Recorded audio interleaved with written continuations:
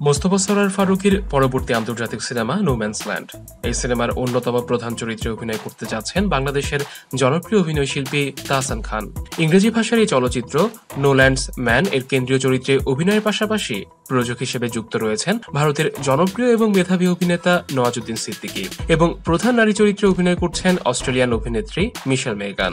নোল্যান্ডস man চলচ্চিত্রটির চিত্রনাট্য ইতোমধ্যে একাধিক ফেস্টিভ্যালে ফান্ড জিতে নিয়েছে। এটি দু সালে বুসান ফিল্ম ফেস্টিভ্যালে এশিয়ান প্রজেক্ট মার্কেটে নির্বাচিত হয়।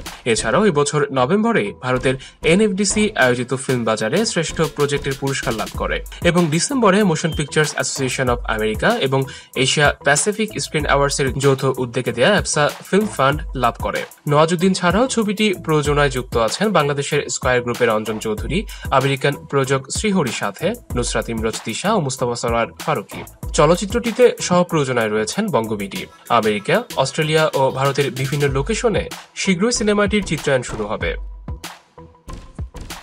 ভিডিওটি ভালো লেগে থাকলে লাইক, কমেন্ট ও সাবস্ক্রাইব করতে ভুলবেন না। ভিডিও ডেসক্রিপশনে দেয়া আমাদের সোশ্যাল মিডিয়ার লিঙ্কগুলো ফলো করুন।